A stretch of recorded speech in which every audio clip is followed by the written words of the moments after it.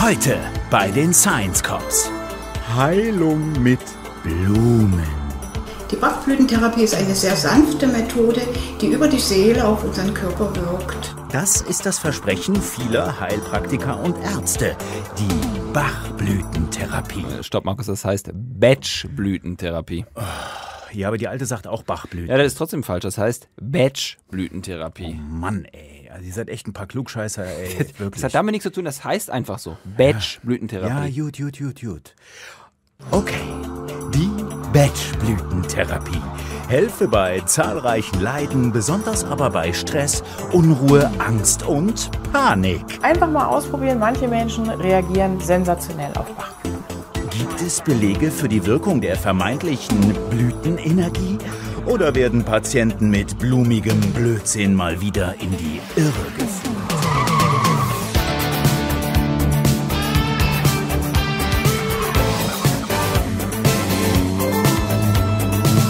Wissenschaftlichen Unfug aufzudecken ist Aufgabe der Quarks Science Cops. Maximilian Dökel und Jonathan Focke. Das sind ihre Fälle. Cherry Plum, White Chestnut, Holly, Clematis, Water Violet. Wie schön. ne? Ja, In diese wundersame Welt der Blüten wollen wir euch heute entführen. Willkommen bei den Quark Science Cops, eurem Podcast zur Aufklärung von unwissenschaftlichem Unfug. Ja, komm, mach den Bach jetzt mal aus da. ja, das Thema der heutigen äh, Folge ist wieder ein Wunsch von euch. Äh, Bachblüten und die Rescue-Tropfen. Diese Rescue-Tropfen auf Basis von äh, Bachblüten sind immerhin, ähm, wenn man dem Hersteller glauben darf, das meist verkaufte bzw. meist distribuierte Mittel gegen Stress und Schlaflosigkeit weltweit. Ja, wobei da muss ich jetzt äh, mal eben reingehen, wie gerade beim äh, Markus auch. Bachblüten ist schon der erste Fehler, ne? Denn in Wirklichkeit heißt es, wie wir gerade schon gehört haben, ja Batchblüten. Ja, das war für uns die erste Erkenntnis dieser Ermittlungen. Warum das so ist, erklären wir euch gleich. Es hat jedenfalls äh, nichts mit Blüten zu tun, die am Ufer eines Baches wachsen. Was ich ehrlicherweise immer gedacht habe, das war so meine Vorstellung, Ja, ne? Da ja. fließt so ein Bach, wie wir es gerade gehört haben auch, und dann stehen da diese Blüten am direkt am Ja, Ufer. und dann geht irgendwer dahin und dann sammelt der die ab und dann Ja. hat das heilende Wirkung. Klingt schön, äh, natürlich, ja, idyllisch, Kraft der Natur und so. Die äh, Batch-Blütentherapie hat jedenfalls viele Fans und vor allen Dingen Heilpraktikerinnen und Heilpraktiker preisen diese Therapie an, äh, wie hier zum Beispiel eine Heilpraktikerin auf YouTube. Es ist immer unglaublich, wie das funktioniert. Wirken tun sie manchmal sofort. Man kann sie begleitend einsetzen und manche Menschen wie ich, die ähm, tun ihr Leben lang Bachblüten nehmen, weil es immer irgendetwas gibt, was es noch zu verbessern gibt oder es ist irgendwie eine neue Situation. Ja, und äh, da gibt es bei mir jeden Tag Bachblüten. Manchmal sofort, manchmal vielleicht auch gar nicht. Ja, auf jeden Fall die Medizin für jeden Tag, ne? für jede Situation. Batchblüten sollen vor allem bei psychischen Leiden wie Angst, Stress, äh, innerer Unruhe und so weiter helfen und damit dann auch vor körperlichen Leiden schützen. Ja? Wenn man quasi seelisch gesund ist, dann wird man auch so nicht krank, so die Idee. Und äh, das von uns so geschätzte Zentrum der Gesundheit schreibt auf seiner Seite, Zitat, Bachblüten bzw. Batchblüten helfen, das innere Gleichgewicht wiederherzustellen, energetische Blockaden zu lösen und Krankheiten vorzubeugen und Gesundheit zurückzuerhalten. Ich bin mal gespannt, wie, viel, wie oft wir aus Versehen dieser Folge noch Bachblüten Oh, sagen statt ja. Batchblüten. Ne? Das, man muss Vielleicht sich sagen mal wir auch einfach. Bachblüten. Nee. nee, wir machen das schon richtig Okay. hier. So, ähm, jedenfalls klingt dieses Versprechen total äh, toll, aber ehrlich gesagt auch ganz schön sonderbar. Also, was hat es jetzt wirklich mit den Batchblüten auf sich? Wie sollen sie wirken? Sind die vollmundigen Versprechen der Heil Heilpraktiker durch irgendwelche wissenschaftlichen Belege gedeckt? Und wie heißt es denn nun? Ja, und warum vor allen Dingen? Warum denn nicht einfach Bachblüten? Ja, diesem Mysterium gehen wir jetzt auf den Grund. Unsere Batchblütenermittlungen. Jetzt geht's los.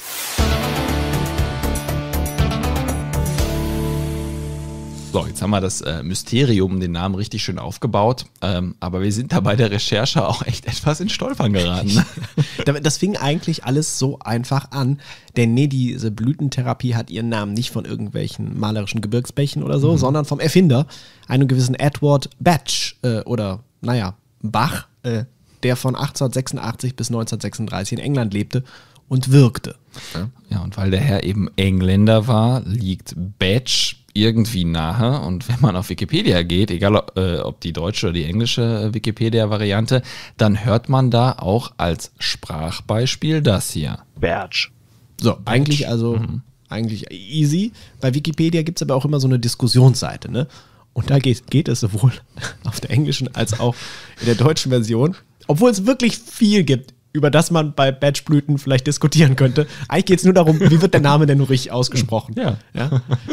Also diese Diskussion, die ist so nerdig äh, und wir wollen euch nicht langweilen. Es ist auch fast schon ein bisschen peinlich, aber wir fanden diese Diskussion dann doch irgendwie ziemlich interessant. So, deswegen haben wir gedacht, wir machen jetzt mal einen kleinen Ausflug in die Phonetik. Ja? Es gibt dieses Mal auch ehrlicherweise hinten raus nicht so viel Wissenschaft. Da können wir jetzt ein bisschen vorher noch über Phonetik reden. Also dieser CH-Laut kann im Englischen auf drei verschiedene Arten und Weisen ausgesprochen werden. Er wird aber selten wie bei uns im Deutschen ausgesprochen, weil es ja diesen CH-Laut im Englischen kaum gibt. Also dieses von dieses ne? ähm, da fällt den Engländern die Aussprache oft schwer. Ja, und deswegen nimmt man ja auch oft, ähm, wenn man wenn man, sag ich mal, diesen englischen Akzent, diesen amerikanischen Akzent etwas nachahmen will, dann nimmt man ja dieses K, ne? Johann Sebastian Bach. Bach. Ja, zum, Als Beispiel. Jetzt schlechter amerikanischer Akzent, das tut mir leid. So. Ähm, wirklich nutzen würdest du diesen K-Laut aber eigentlich nur, wenn es sich, ähm, also um ein richtig originäres englisches Wort handelt, was im englischen Sprachgebrauch so benutzt wird, wenn es sich um ein Wort handelt, das ursprünglich mal aus dem Griechischen kommt. Also zum Beispiel Chemistry, ja, griechische Wortherkunft, aber im Englischen verwendet dann als K. Bei Lehnwörtern aus dem Französischen wird das CH hingegen eher wie so ein SCH ausgesprochen, ja. Machine zum Beispiel. Die Standardaussprache für ein CH im Englischen ist aber so ein Ch, ja, äh, Change, Arch, Branch, Much. Was ja dann erstmal dafür sprechen würde, dass der Name von Herrn Edward Bach tatsächlich Badge ausgesprochen wird. Ja. Ja, dachten wir auch erst. So, und dann kommt das nächste Problem. Denn Edward äh, Batch, äh, Bach, was auch immer, hatte wohl walisische Vorfahren. Und tatsächlich scheint der Name Batch aus dem Walisischen zu stammen. So, das Walisische hat mit dem Englischen aber ungefähr so viel zu tun wie ein Stück Erdbeertorte mit dem Döner. Ja? Äh, äh, ich kann das ein bisschen aus Erfahrung. Beides ganz lecker. Beides ganz lecker, aber dann hat halt, ne, also schmeckt halt unterschiedlich. Ne? Und ich kann aus Erfahrung sagen, ich habe ich hab eine Zeit lang in Wales äh, tatsächlich gelebt. Du kannst die besten englischen Sprachkenntnisse haben, du verstehst halt nichts. Ja, also Ja. Walisisch ist eine eigene Sprache, ist eine keltische Sprache, die vollkommen anderen Regeln gehorcht. Das Deutsche ist näher am Englischen dran als, als das Walisische. Ja. ja, und darum würde im Walisischen Bach dann eben tatsächlich Bach ausgesprochen. Bach, ja. Ja. Wobei, und das ist ja das grundsätzliche Problem, Namen nicht mal, nicht immer so den gängigen Regeln der Sprachgestaltung folgen müssen. Das ja. stimmt und darum müsste man vermutlich wirklich ganz tief in die Geschichte gehen, um zu schauen, wie lange denn die Familie von Edward Bach oder Batch äh, schon in England gewohnt hat und was da richtig wäre. Man kann aber noch was anderes machen. Äh, man kann mal schauen, wie er sich selbst genannt hat. So, und äh, da ist ein bisschen schwierig. Informationen dazu gibt es jetzt erstmal nicht so richtig offen zu finden, aber das ähm, Batch Center, ähm, eine von einer Stiftung finanzierte Institution, die sich seinem Nachlass äh, widmet, kommen wir gleich nochmal genauer zu. Ähm, diese Stiftung gibt es jedenfalls, dieses Batch Center, und die informieren über das Leben von Edward Batch. Und das machen sie momentan nicht mehr auf ihrer Webseite gerade, aber wenn man dieses äh, Internet Archive benutzt, um in die Vergangenheit der Webseite zu gucken, dann findet man ein FAQ und in dem schreiben sie dann, dass seine Familie den Namen eigentlich Page ausgesprochen hätte. Das wird echt immer komplizierter, super. Jetzt haben wir noch mehr Aussprachemöglichkeiten. Also Beige, Back, Bach, Page, um Gottes Willen. Aber jetzt kommt die große Auflösung. Ähm, während seiner Studienzeit haben seine Studienkollegen seinen Namen falsch ausgesprochen. Die haben ihn nämlich nicht Page genannt, sondern Batch. So, und dabei ist er dann geblieben und war dann zeitlebens in der Medizin als Edward Batch bekannt. Bedeutet also, wenn wir davon ausgehen, dass er das so angenommen hat, scheint das der richtige Begriff zu sein, Batch und Bach dann auf jeden Fall falsch. Es sei denn, man beruft sich auf seine walisischen Wurzeln, dann müsste man Donald Trump allerdings auch Donald Trump nennen, denn der Name kommt ja aus dem Deutschen. Ja, okay, so genug Phonetik, auch mal ein interessanter Exkurs, hatten Ja, wir ne? bisher, glaube ich, noch Gar gar, nicht, nicht. gar nicht, kleiner, nee. kleiner Phonetik-Ausflug hier. Wir bleiben also jetzt mal bei den Badge-Blüten und kommen jetzt endlich zu ähm, Edward Badge himself. Wie gesagt, 1886 geboren in der Nähe von Birmingham, hat in London Medizin studiert und dann ab 1912 als Arzt gearbeitet und sich da vor allem mit der Kultivierung von Bakterienkulturen ähm, für die Impfstoffforschung beschäftigt. Er hatte dann einen Milztumor, der 1917 operiert wurde, allerdings mit einer sehr schlechten Prognose. Ja? Also man hat ihm damals nur noch drei Monate zu leben gegeben. Ja, und dann muss man jetzt ein bisschen aufpassen, denn die Quellen, die es so für die nachfolgende Zeit gibt, die sind recht dünn und äh, man beruft sich da häufig auf ähm, Batchblüten, freundliche Webseiten und Institutionen wie zum Beispiel das Batch Center. Bedeutet, ob das jetzt alles so genau abgelaufen ist, wie die das beschreiben, ist fraglich. Es kann halt gut sein, dass da äh, also die eine oder andere Sache im Nachhinein auch so ein bisschen verklärt wurde. So historische Heldenaufladung. Es, es heißt dann jedenfalls, er habe sich voll in die Arbeit gestürzt, weil er unbedingt vor seinem Tod, der ja dann in drei Monaten anstand, wie man ihm sagte, äh, noch alles erledigen wollte und äh, habe darüber gar nicht bemerkt, dass es ihm immer besser und besser ging. Äh, er habe daraus abgeleitet, dass es sein Wille und seine noch nicht erfüllte Aufgabe waren, die ihn quasi am Leben hielten, also psychische, seelische Effekte, was vielleicht schon erster Ansatz für seine späteren Ideen seiner Therapie war. Ja, als er dann gesundet war, gefiel ihm aber wohl die Art nicht mehr, wie die Medizin mit den Patienten umging, weil sie äh, sich nur auf die Symptome beschränke und nicht den ganzen Menschen in den Blick nahm. Der wollte da einfach holistischer rangehen. Ne? Dieses übliche Vorurteil, ne, was sicherlich manchmal ähm, aber längst nicht immer zutrifft. So ist es. Und obwohl er eigentlich kein Homöopath war, ging er dann ans Royal London Homeopathic Hospital. Genau, die Royals und die Homöopathie haben wir auch schon eine Folge zu gemacht, hört da gerne mal Ja. rein. Der Fall ähm, Windsor. Richtig, äh, Prince Charles. Ne? So, und äh, da an diesem Hospital fiel ihm dann die Ähnlichkeit zwischen Impfungen und Homöopathie auf. Ja, weil man ja bei beiden Sachen Dinge in sehr geringer Konzentration beziehungsweise in abgeschwächter Form zum Körper hinzufügt. Und dann soll das ja eine Wirkung haben. Wobei wir hier nochmal betonen möchten, ne, dass es natürlich grundlegende Unterschiede gibt. Also Impfungen haben ja einen plausiblen Wirkmechanismus, Homöopathie nicht. Und die Wirksamkeit über den Placebo-Effekt hinaus, also bei der Homöopathie, ähm, die wurde eigentlich wiederholt widerlegt, das kann man abhaken. Ja, kann man abhaken. Ähm, er hat das nicht abgehakt. Äh, er entwickelte dann auf Basis seiner Bakterienkulturen, die er ursprünglich dann für Impfungen benutzt hat, Nosoden. Ja? Nosoden sind Substanzen, die nicht nach dem klassischen homöopathischen Ähnlichkeitsprinzip wirken sollen, sondern ja noch eine Stufe ähnlicher sind, nämlich gleich. Ja? Also quasi Gleiches mit Gleichem bekämpfen. Er war ja Arzt und hat sich da auf Mikrobiologie und auf Bakterien auch spezialisiert gehabt. Er kannte also die Existenz von Bakterien durchaus an. Und er bereitete dann quasi homöopathische Mittel auf Basis von krankmachenden Erregern zu. Ähm, angeblich wurde er dafür von Kollegen dann als der zweite Samuel Hahnemann bezeichnet. So richtig populär wurde das aber außerhalb von äh, England dann nicht. Ja, und Samuel Hahnemann wäre vielleicht auch gar nicht so begeistert gewesen von dem, was äh, Badge dann nachher mit seinen Blüten anstellte. Aber die Frage ist ja jetzt, wie kommt man von diesen Nosoden zu den Blüten, also zu den Badge-Blüten? Das hat ja erstmal nichts miteinander zu tun. Nee, äh, das stimmt. Und wie genau sich diese Idee entwickelt, äh, das ist heute auch nur noch super schwer nachzuvollziehen, weil Batch selbst wohl immer all seine Aufzeichnungen vernichtete, wenn er mit einem Aspekt fertig war. So. Ja. Fertig? Nö, weg damit. Machen wir auch so. Jede, jede, alle unsere Recherchen landen sofort nach der Aufzeichnung in den Müll, damit ihr auch gar keine Nachfragen stellen könnt. Das geht uns nur auf die Nerven, ne? Klar, auf jeden Fall. So machen wir das. So, ähm, Eine deutsche Heilpraktikerin erzählt das auf YouTube, also so mit der Entstehungsgeschichte. Und das Video hat immerhin 22.000 Abrufe. ist selbst an einem Milztumor erkrankt und hat in dieser schlimmen Krankheitsphase immer wieder von Blüten geträumt. Er hat dann für sich entschieden, wenn ich wieder gesund werde, werde ich mich damit auseinandersetzen, was Blüten und ich, was wir miteinander gemeinsam tun sollen. Er hat die Schulmedizin hinter sich gelassen, er ist wieder gesund geworden und ist losgezogen, um rauszubekommen, was die Blüten und er gemeinsam tun sollen. Und eines Tages kam er an einem Bachlauf vorbei, wo ein kleines gelbes Blümchen stand mit einem Tautropfen drauf und die Sonne schien darauf und das Bild faszinierte ihn so sehr, dass er sich darunter gelegt hat und den Tautropfen sich auf die Zunge hat gleiten lassen und in diesem Moment waren seine Bauchschmerzen verschwunden. Da hat er für sich entschieden, das ist das, was ich und Blüten, was wir gemeinsam tun sollen. Die Tautropfen, meine Blüten und ich. Ja. Ist vor allen Dingen eine schöne Vorstellung, weil diese, diese Blüte, die er meint, wir wissen ja, welche er meint, die ist nicht besonders groß.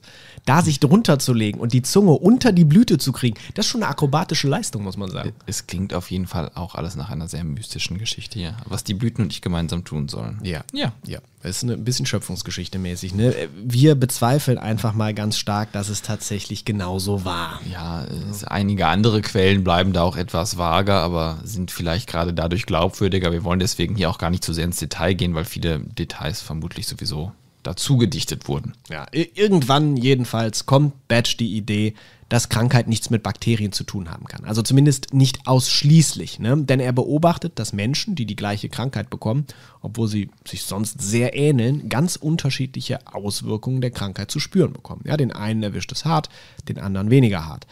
Dadurch steht für ihn fest, dass Krankheit weniger eigentlich mit dem Körper als vielmehr mit der Seele zu tun hat. Ja, für ihn sind seelische Probleme der Hauptgrund für Erkrankungen und wenn man diese behebt, dann wird der Mensch auch wieder gesund.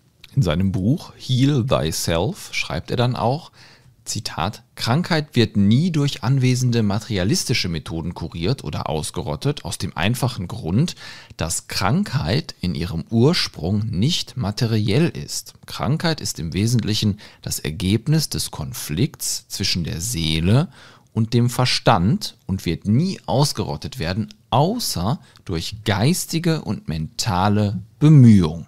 Ja, wie gesagt, vielleicht ein Überbleibsel von seiner Tumorerkrankung, mhm. die er trotz schlechter Prognose überlebt hatte, seinem Verständnis nach, vielleicht weil er sich so in die Arbeit stürzt und quasi einen Sinn in seinem Leben hat und damit wieder mit sich selbst im Einklang war. Mhm. Wolf-Dieter Storl, ein Autor von äh, sich sehr gut verkaufenden Büchern über Gartenpflege, Unkräuter, aber auch eines Werks über Bachblüten, pardon, Batchblüten, erklärt es auf YouTube, äh, auf seinem YouTube-Kanal so. Es ist nicht, dass da hat man sich ein Bein gebrochen und es heilt den Knochen, sondern es ist so auf der Ebene, ja, man äh, hat da so negative Gefühle und äh, an dem Punkt nimmt man eine bestimmte Blüte, solange man diese Emotion trägt, um die Seele umzuschwingen, ehe sich das herunterfiltert auf die physikalische Ebene. Mhm.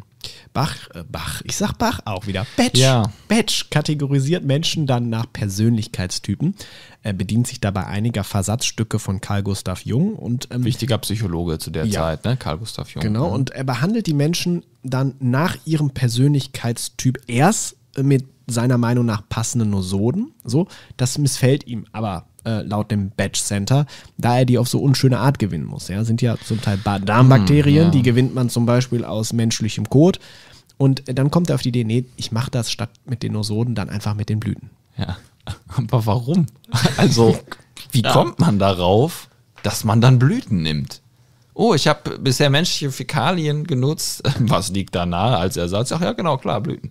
Ja, also ja. wieso er auf Blüten ja. kam, wird nicht erklärt, nur dass es sich laut ihm um die am weitesten entwickelten Teile der Pflanze handelt und dass diese angeblich Energien und Schwingungen beinhalten, die auf den Menschen wirken können. Ja, und er sammelt dann äh, nach und nach äh, immer mehr davon in den 30er Jahren. Vor seinem Tod kommt er dann auf insgesamt 38 verschiedene Blüten, beziehungsweise 37 verschiedene Blüten und ähm, Quellwasser. So, das ist nochmal eine 38. Substanz, ähm, die bei bestimmten seelischen Verstimmungen helfen sollen und damit dann auch den Menschen gesund werden lassen. Ja, also wer zum Beispiel sehr unter Ungewissheit leidet, der kann dagegen die Batchblüte Hornkraut nehmen und dann hilft das gegen die Unsicherheit und demnach dann auch gegen Krankheiten, weil man dann wieder mit sich im Reinen ist. Also die Energie der Pflanze heilt quasi ja, das Energiefeld des Menschen und bringt es wieder ja, in die richtige Verfassung.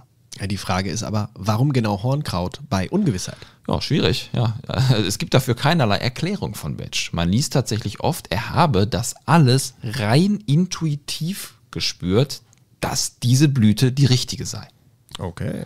Ja, also das Badge Center schreibt dazu folgendes: Zitat: Inzwischen waren sein Körper und sein Geist so auf seine Arbeit eingestellt, dass er unter verschiedenen emotionalen Zuständen litt, bis er die Pflanze fand, die ihm helfen würde. Auf diese Weise vollendete er durch großes persönliches Leiden und Opfer sein Lebenswerk. Amen. Wow, ja, klingt ein bisschen wie ein Märtyrer. Ja. Ne? Vor allem wirkt das aber ja wirklich äh, so, als ob es keinerlei Begründung gibt, sondern Ja. einfach ein rein subjektives Gedankengebäude. Herr Betsch hatte, die, hatte das Gefühl, das passt. Hornkraut. Und Hornkraut ist es. Äh, ohne Water Violet. ja, keine logische äh, Basis dafür. Einfach, das, das wird schon passen. Und dann haben wir das gemacht. Manchmal äh, war er sogar besonders kreativ. Also gegen Ungeduld hilft zum Beispiel Springkraut.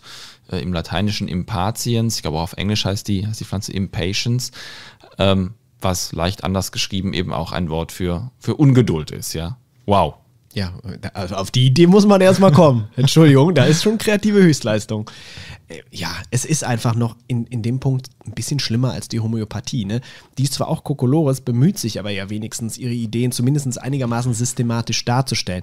Bei der Batchblütentherapie gibt es das ja gar nicht. Nee, trotzdem wird die Homöopathie ähm, und die Bachblüten, die Batchblüten oft gleichgesetzt und das liegt vermutlich an der ähnlichen Herstellung der Präparate. Ja, Edward Batch äh, wurde sehr schnell klar, dass man jetzt, ja, wenn man nur den auf den Pflanzen zu findenden Morgentau einsammelt und mit dem arbeitet, dass man damit vielleicht nicht so richtig weit kommt, weil die Mengen schon relativ gering waren. Also entwickelte er andere Methoden. Da gibt es zum einen die Sonnenscheinmethode. Dazu werden die Blüten gepflückt, in reines Quellwasser gelegt und dann stellt man das für drei bis vier Stunden in die Sonne. Dann entfernt man die Blüten vorsichtig und füllt das Wasser in die Flaschen ab. Aber nur zur Hälfte. Der Rest wird zur Konservierung mit Brandy aufgefüllt.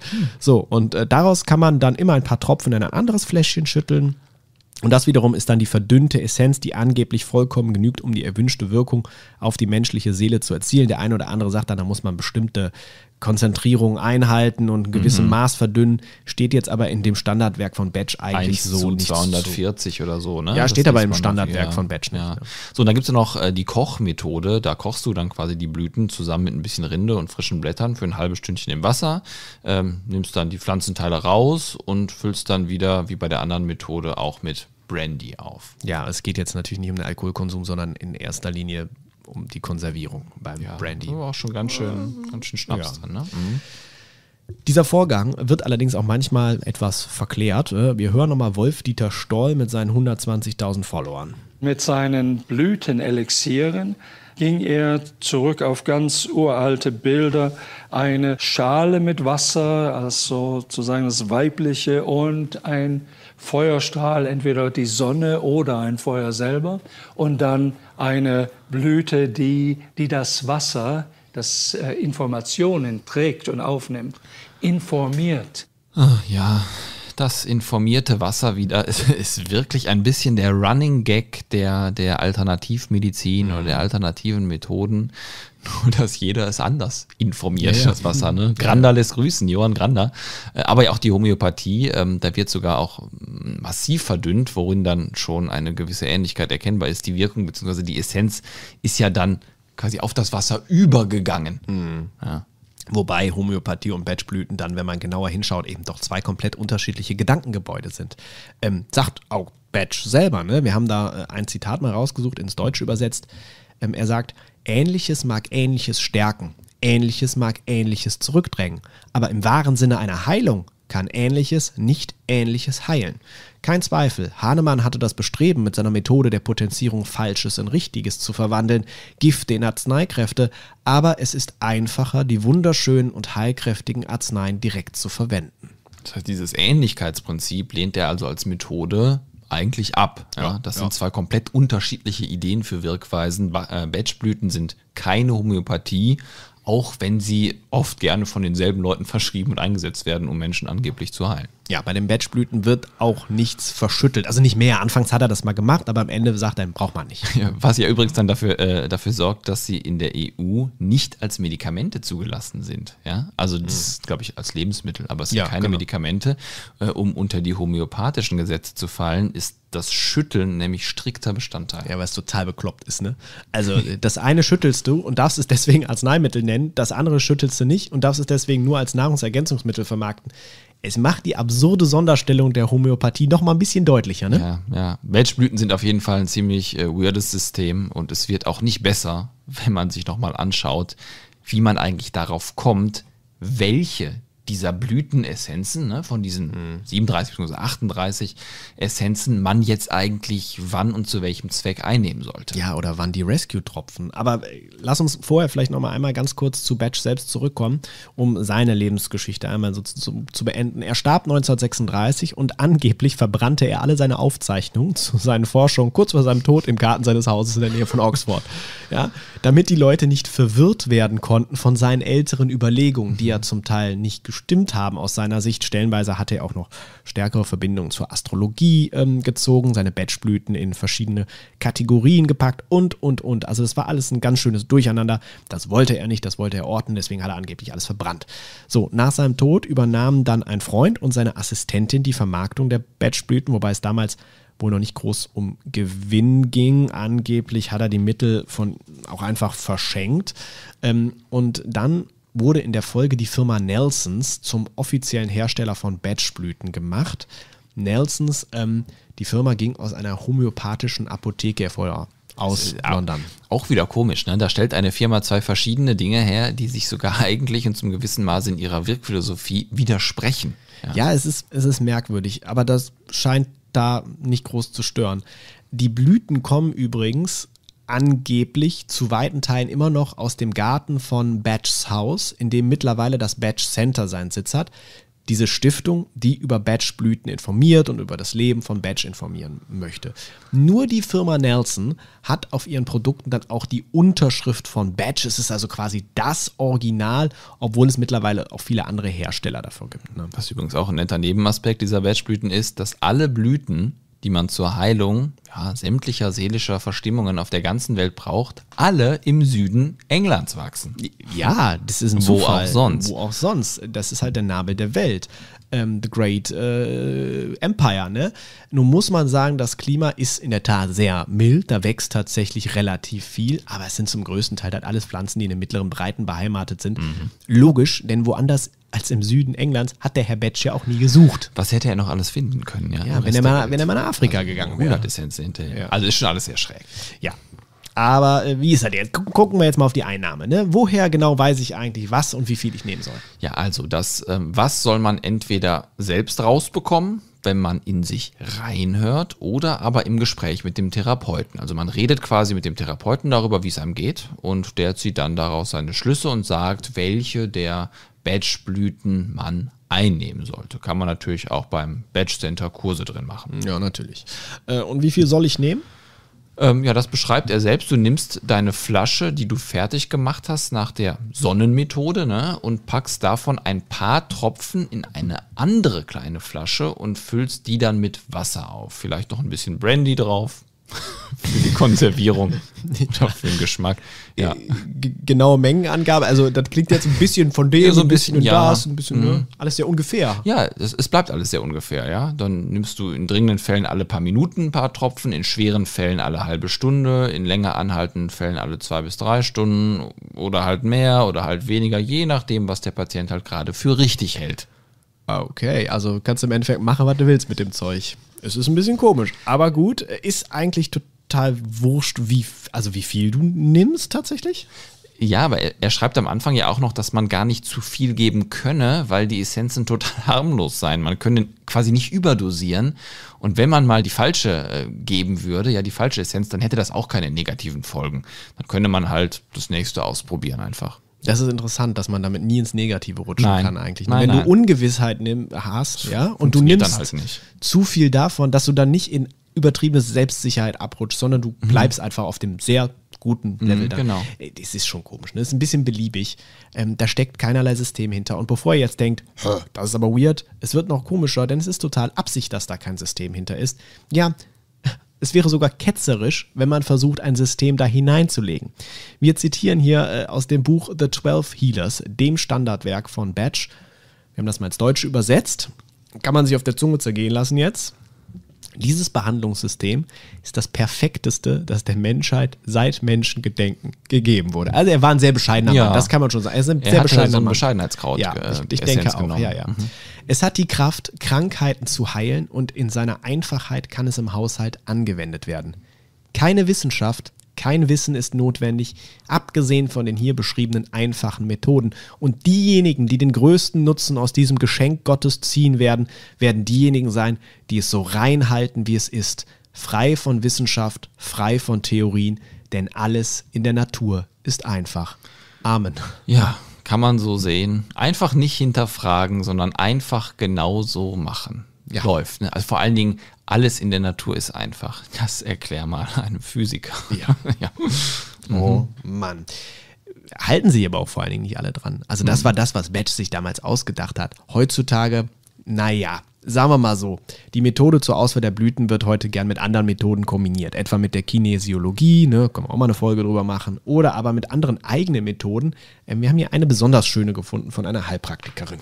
Es gibt Therapeuten, die lassen Patienten einen Fragebogen ausfüllen. Andere Therapeuten verordnen eine Blütenmischung aufgrund ihrer Erfahrung. Und ich bevorzuge die Methode mittels Blütenbilder.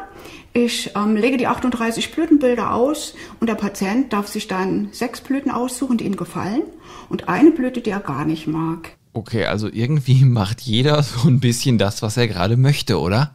Schon, ja, es wird aber noch, es wird noch ein bisschen besser.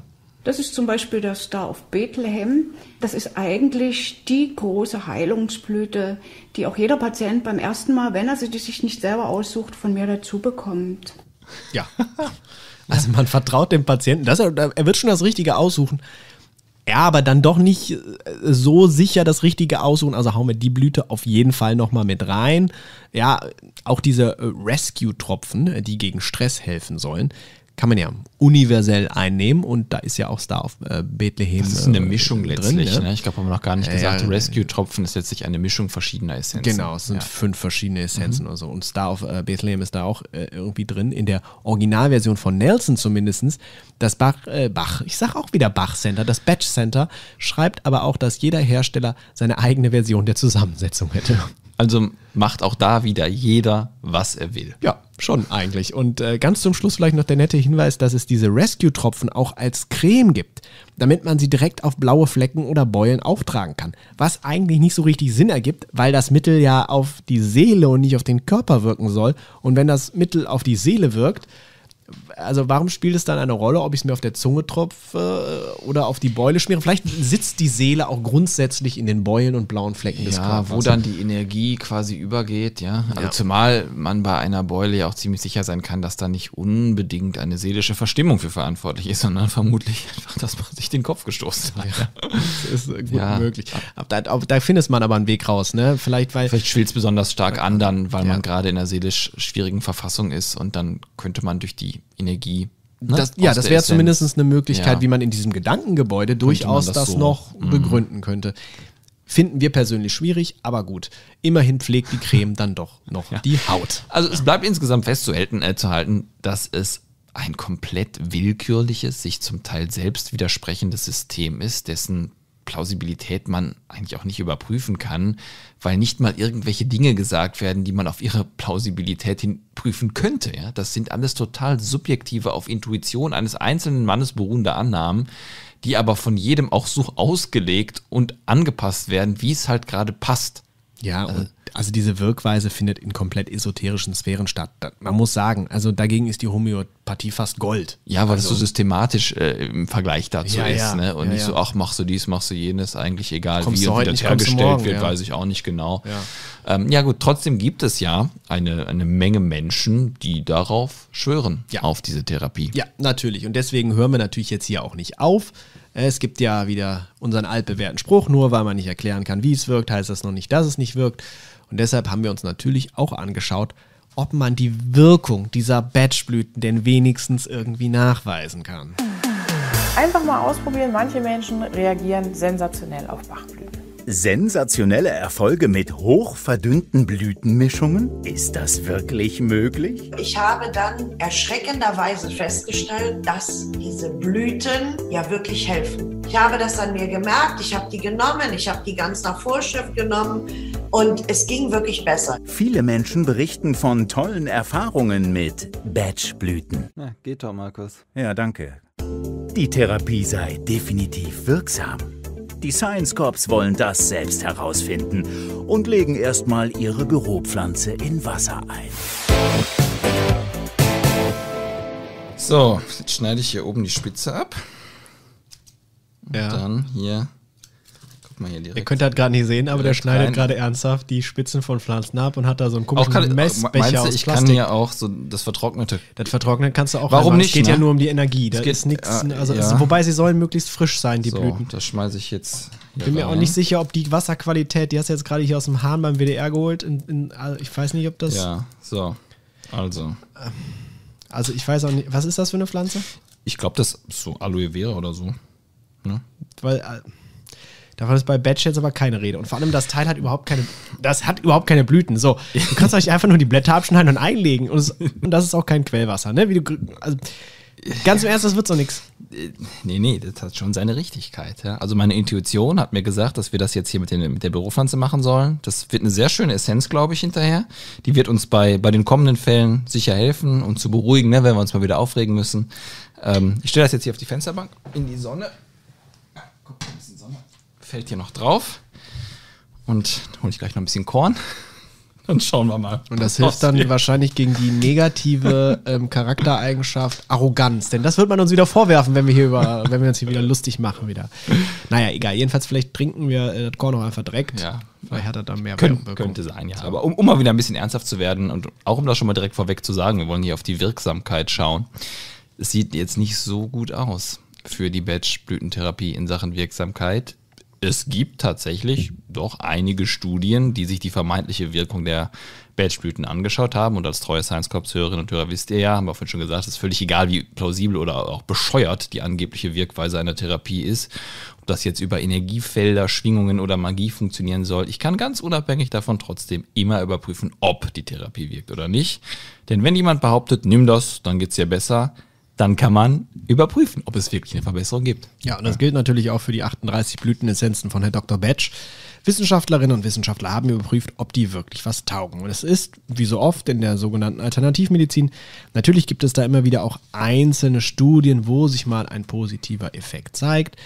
Diese Studien haben dann aber oft das Problem, dass es mit der Qualität nicht so richtig weit her ist, zum Beispiel weil die Teilnehmerzahl sehr gering war oder weil es einfach keine Vergleichsgruppen gab. Also dann haben die Teilnehmerinnen und Teilnehmer zwar davon berichtet, dass nach der Einnahme der Bach, Bachblüten, Batchblütenessenzen das Stresslevel abgenommen habe, aber ob das an den Blüten lag, kann keiner sagen, weil es keine gleich große Gruppe gab, die ein Scheinmedikament oder ein Placebo bekommen hat, ja.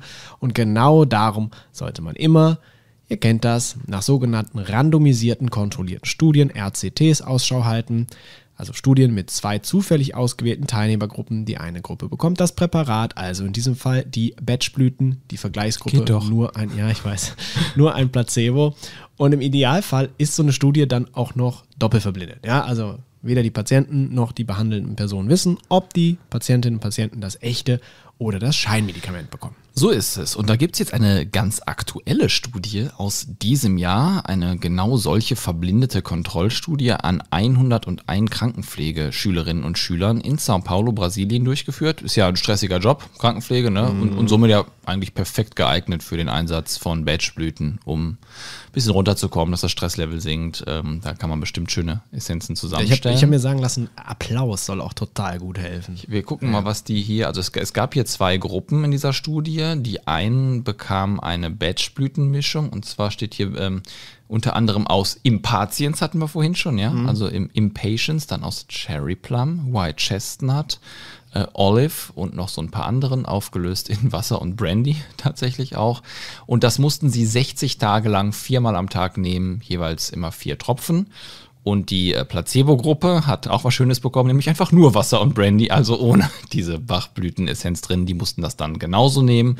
Und dann mussten sie halt in dieser Studienzeit regelmäßig so bestimmte Stresstests durchführen. Jetzt aber nicht wie im Atomkraftwerk, ne? sondern das sind zum Beispiel spezielle Fragebögen, in denen stressbezogene Symptome abgefragt werden und man dann auf einer Skala angibt, wie stark die Symptome bei einem gerade sind. Genau. Und das Ergebnis, formulieren wir es mal ähm, bachblütenfreundlich, äh, die Teilnehmer, die die Bachblüten, die Batchblüten, pardon, wirklich, ich lerne es auch noch irgendwann. Also die Teilnehmerinnen und Teilnehmer, die die Batchblüten bekommen haben, hatten hinterher weniger Stresssymptome als vorher. Und wären wir jetzt ein Batchblüten-Promo-Podcast, dann würden wir an dieser Stelle jetzt aufhören und sowas sagen wie. Manche Menschen reagieren sensationell auf Bachblüten. Ja, die ganze Wahrheit aber ist, in der Placebo-Gruppe gingen die Stresssymptome genauso zurück. Es gab also schlecht. keinerlei Unterschied. Ja, Fazit der beiden Forscherinnen, die übrigens auch eher aus dem Pro-Batchblüten-Kontext kommen. Ähm, die Batchblütentherapie war nicht effektiver als das Scheinargument, anders gesagt. Es gibt keine Wirksamkeit über den Placebo-Effekt hinaus. Genauso übrigens die Ergebnisse mehrerer Kontrollstudien zu Batchblüten bei Prüfungsangst. Das ist ja ein beliebtes Feld für Batchblüten, wie uns hier nochmal äh, Dr. Franziska Rubin erklärt. Bei konkreten Ängsten, wenn man eigentlich weiß, wovor man Angst hat, dann ist es Mimulus, also zum Beispiel bei Prüfungsangst. Ja, Dr. Franziska Rubin, übrigens, ich war ein bisschen schockiert, als ich das gesehen habe, worüber sie redet. Ich kenne die noch aus ihrer Zeit, wo sie beim Kinderkanal war. Damit bin ich aufgewachsen. Da gehörte sie zu den Moderatorinnen der ersten Stunde, hat dann später irgendein Gesundheitsmagazin moderiert und jetzt erzählt sie so ein Zeug über Batchblüten. Ja, soweit auf jeden Fall die Behauptung. Ne? Ja. Äh, Aber auch das haben Forscherinnen und Forscher untersucht, und zwar in Studien an Universitätsstudentinnen und Studentinnen, die in einem bestimmten Zeitraum vor Prüfungen Batchblüten bzw. ein entsprechendes Placebo bekommen haben. Da wurde wieder mit Hilfe spezieller Tests das Angstlevel bestimmt. Ergebnis bei all diesen Untersuchungen, dreimal dürfte raten, ja, kein Unterschied zwischen Batchblüten und Placebo. Ja, gut, aber noch besser, ähm, als sich solche Einzelstudien anzuschauen, ist es, auch das kennt ihr, nach Übersichtsarbeiten zu gucken, also nach diesen systematischen Reviews, die dann nach bestimmten Kriterien diese ganzen Einzelstudien auswählen und auswerten, um einfach einen größeren Überblick zu bekommen, als sich immer nur eine einzelne Studie rauszupicken.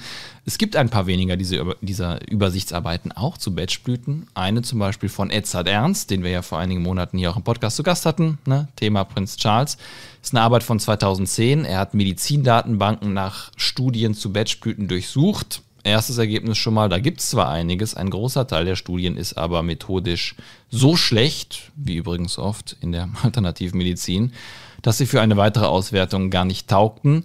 Er hat am Ende dann sieben einigermaßen brauchbare Kontrollstudien zu Batchblüten in dieser Übersichtsarbeit ausgewertet, wohlgemerkt teilweise auch mit Mängeln. Also das war dann häufig so, dass äh, viele Teilnehmer ausgestiegen sind, einfach in der Studie, kommt auch immer wieder vor, aber das waren nur die besten Studien, die man finden konnte. In den meisten davon ging es dann auch um Stress, um Angst, in einer Studie auch um äh, ADHS bei Schülerinnen und Schülern. Und machen wir es kurz.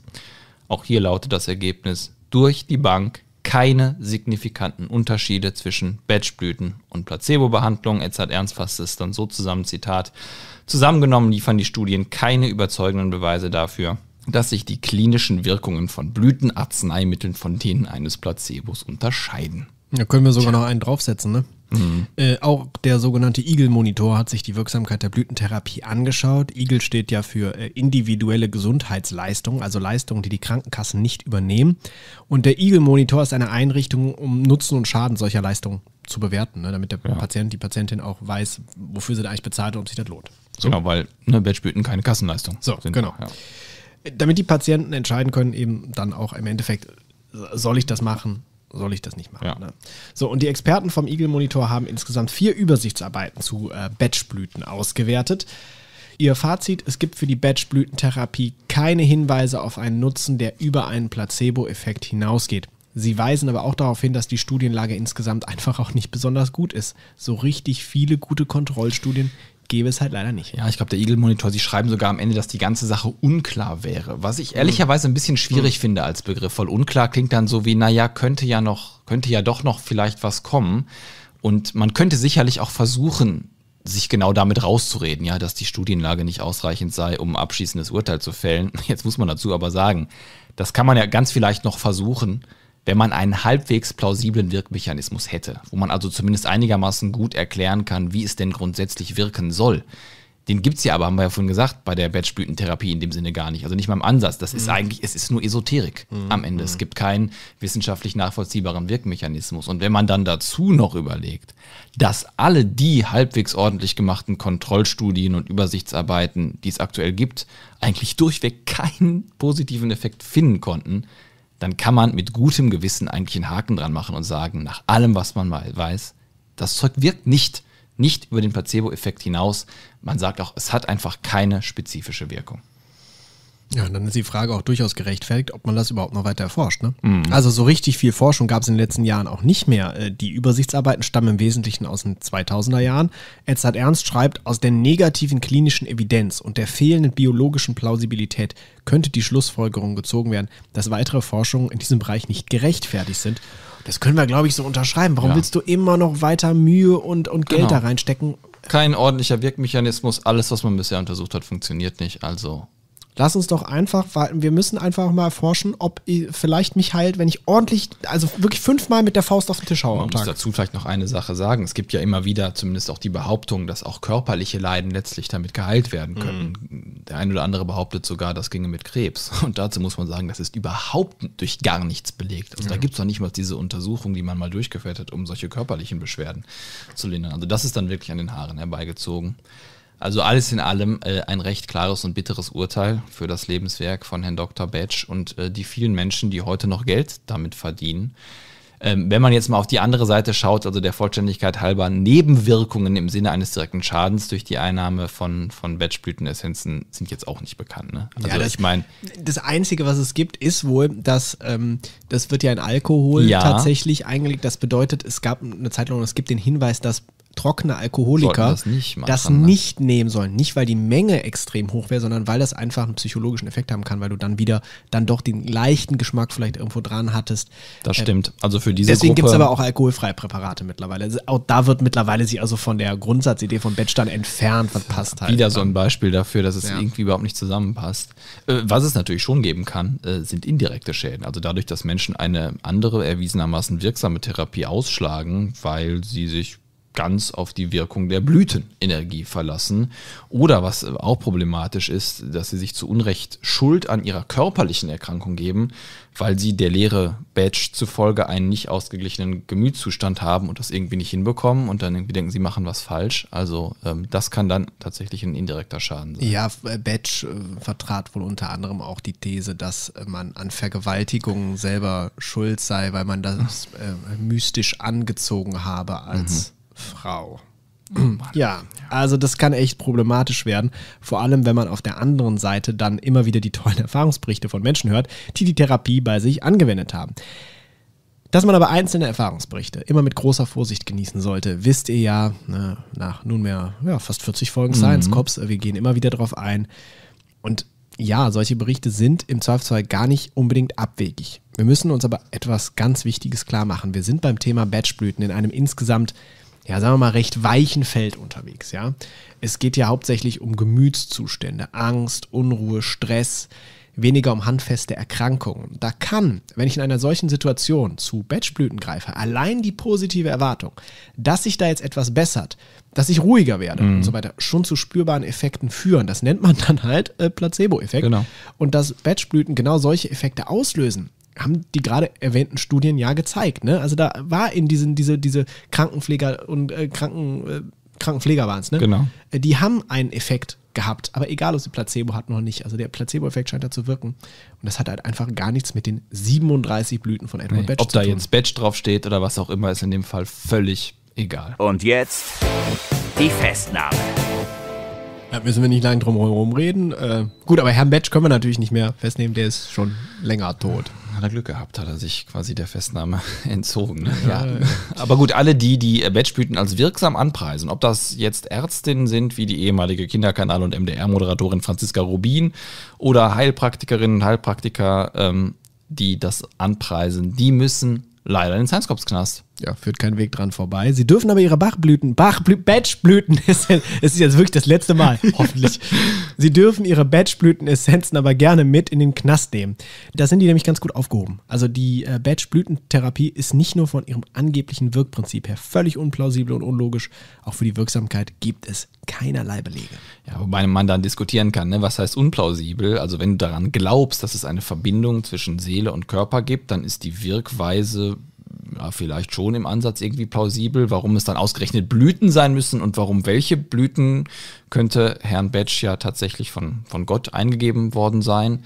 Daran kann man ja grundsätzlich glauben, Ja, wenn man das möchte. Kann man ne? machen, aber das ist halt wirklich der zentrale Punkt. Es geht dann um Glauben. Ja, um Glauben an etwas, was sich außerhalb des naturwissenschaftlich Nachweisbaren irgendwie bewegt. Um Glaube an was, was den naturwissenschaftlichen gesetzmäßigen, also Gesetzmäßigkeiten ja widerspricht. Ja? Ja. Und, und nur durch irgendwelche höheren Mächte erklärbar wäre. Also es ist im Endeffekt, wir haben es eben schon mal gesagt, es ist Esoterik, ja. Und da muss natürlich am Ende jeder selbst wissen, wie er sowas handhabt. Also kann ja auch jeder in die Kirche gehen und an Gott glauben. Der muss, ja, also der bewegt sich auch außerhalb des naturwissenschaftlich Nachweisbaren. Äh, wir würden jetzt als Science Corps trotzdem nicht hingehen und den Papst festnehmen. Ja. ja, was auch eine interessante Vorstellung wäre. Ich glaube, wir würden an der Schweizer Garde scheitern. Ja, ja, wahrscheinlich schon. Ich glaube, die würden uns ziemlich platt machen. Aber machen wir auch nicht, weil es uns schwerfällt, da von unwissenschaftlichem Unsinn zu sprechen. Ne, Das- Das hat ja einfach, also, das ist halt Religion. Das hat mit, mit Wissenschaft nichts zu tun. Ja. Warum nehmen wir dann jetzt die Batchblütenliebhaber doch fest?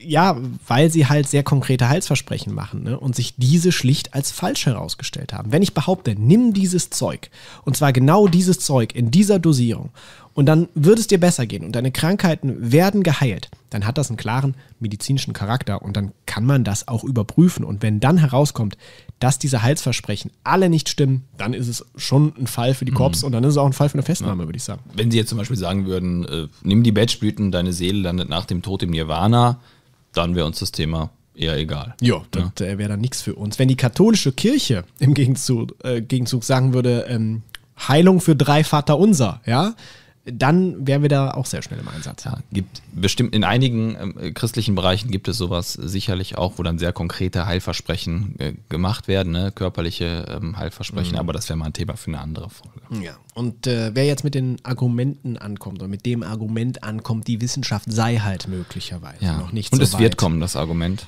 die Wirkweise der Batchblüten zu ergründen. Diejenigen verweisen wir gerne auf unsere Folge zum Zentrum der Gesundheit. Da erklären wir, warum genau dieses Argument wirklich kein gutes Argument ist. Kurzform, die Wirksamkeit einer Therapie kann ich immer überprüfen, auch wenn ich die Art der Wirkung nicht verstehe. So ist es. Jetzt ist die entscheidende oder interessante Frage, warum sich die Batchblütentherapie trotzdem bis heute so hält. Und ähm, eine mögliche Antwort, die Batchblütentherapie funktioniert natürlich auch deswegen so toll, weil sie ganz gut in dieses Bild der natürlichen Medizin passt, ja? Also als Gegenstück zur Pharmaindustrie mit ihren künstlichen Medikamenten, chemische Industrie. Ja, Natur ist gut, Chemikalien sind schlecht, so das oft sehr einfache Weltbild, was aus der Natur kommt, ist gut oder kann nur gut sein, das ist so die Grundannahme dahinter. Und ja, reicht eigentlich ein kurzes Nachdenken darüber, um festzustellen, dass diese Vereinfachung völliger Quatsch ist, mal ganz abgesehen von Krankheitserregern wie Viren und Bakterien, die uns auch Mutter Natur beschert hat und von ganz äh, natürlichen Elementen wie Arsen, Blei, Uran und, und anderen diversen Schwermetallen finden sich auch in der Pflanzenwelt eine Menge Exemplare, von deren Einnahme man vielleicht eher absehen sollte, weil es nicht ganz so glimpflich ausgeht. Also diese Annahme Natürlichkeit ist grundsätzlich gut, ist so ein klassischer Fehlschluss und es kann tatsächlich auch sehr gefährlich enden. Fliegenpilze sind auch natürlich. Ja. Was, also, Pilze sind auch, lass mal essen. Es ist kann- von der Natur gegeben. Ja. Das bringt uns aber zu einem weiteren Missverständnis, nämlich, ähm, dass die Batchblütentherapie irgendwie ganz gerne mal der Pflanzenheilkunde so zugerechnet wird. Mhm. Nach dem Motto, mit Pflanzen kann man doch heilen. Also, wenn man das mit den Batchblüten doch auch können. Also, was grundsätzlich stimmt, ist, dass es durchaus eine Reihe von Pflanzenwirkstoffen und äh, pflanzlichen Arzneimitteln gibt, die erwiesenermaßen eine Wirkung haben. Na, man spricht dann auch von Phytopharmaka. Also es ist zum Beispiel gut belegt, dass Teufelskralle bei Schmerzen hilft. Ja? Auch für die Wirkung von Johanniskraut bei leichten Depressionen gibt es einigermaßen brauchbare Belege. Der wesentliche Unterschied aber ist dann, in diesen Phytopharmaka sind signifikante Mengen Wirkstoff enthalten. Ganz im Gegensatz zu Batchblütenessenzen, ja, wo außer Schnaps und Wasser im Grunde nichts drin ist. Also was dann übrigens auch bedeutet, dass diese Phytopharmaka, genau wie synthetische Medikamente, auch Nebenwirkungen Mhm. Ja, ja. haben. Stichwort können. auch Fliegenpilz, ja. Ja, also, richtig. Äh, Und ein weiterer Punkt, keine der 37 Batchblütenpflanzen zählt zu diesen Phytopharmaka, also bei denen eine Wirkung bekannt ist. Die spielen da schlichtweg keine Rolle und deshalb hat die Batchblütentherapie mit einer vernünftigen Pflanzenheilkunde rein gar nichts zu tun. So, Feierabend. Akte Batchblüten ist geschlossen. Vielen Dank unserem Team Lukas Stenbeck in der Recherche, Anna Hoffmann in der Produktion und unserem One and Only Polizeisprecher Markus Klar. Klar, der hatte diesmal Spaß. ja, glaub der hatte. Ärger mit uns. Und natürlich wie immer vielen Dank euch fürs Zuhören. Schreibt an sciencecops.wdr.de, wenn ihr wollt, dass wir in einem Fall für euch ermitteln sollen. So, ich nehme jetzt hier noch die Batchblütenmischung von meiner Fensterbank. Ich habe lang genug durchgezogen, kippt mal den Korn rein. Oder trinken den Korn einfach so. Jo, Oder Feierabend würde ich machen wir sagen. So. Machen wir so. Ne? Bis zum nächsten Mal. Ciao. Die Quarks Science Corps. Gemacht vom WDR.